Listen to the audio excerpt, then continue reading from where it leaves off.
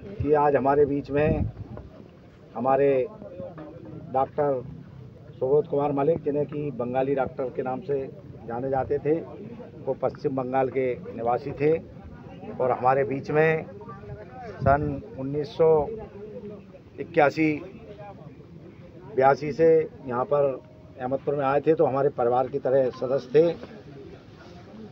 वो उनके पीछे उनके एक बेटा अमित जी बिट्टू और उनकी पत्नी और उनके साले दिनेश कुमारेश और पूरा क्षेत्र उनके परिवार की तरह था, को छोड़कर चले गए हैं।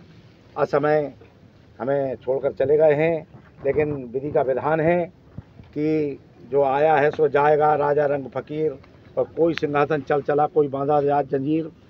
तो कबीर ने कहा है कि जब हम जग में आए थे, लोग हंसे, हम रोए और कुछ ऐसा कर चलिए, जग में लोग लोग, हम हंसे जग रोए। तो डॉक्टर चांसी साहब ने इस क्षेत्र को एक अपने नाम की पहचान दी थी और इस क्षेत्र को अपना परिवार माना था।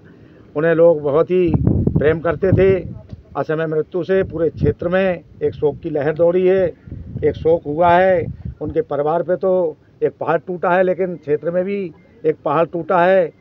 और मालिक से मैं यही प्रार्थना करता हूँ कि उन्हें अपने श्री चरणों में स्थान दें और उनके परिवार को एवं क्षेत्र को उनकी क्षतिपूर्ति हुई है, उसको सहन करने की शक्ति दें और भगवान उन्हें श्री चरणों में अपना स्थान दें।